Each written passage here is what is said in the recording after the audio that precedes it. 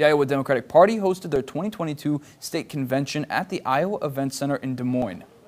And let me introduce to you our Lieutenant Governor nominee, Eric Van Lancker. Deidre DeJear made her first public appearance yesterday with her running mate, Eric Van Lancker, she, and says he accepted the position because of how similar DeJear and his vision are.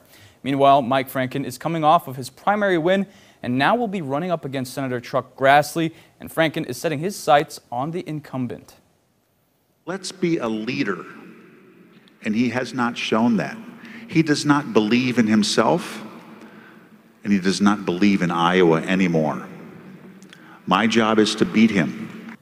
Another nominee that was the at the convention was the incumbent U.S. representative from District 3, Cindy Axne.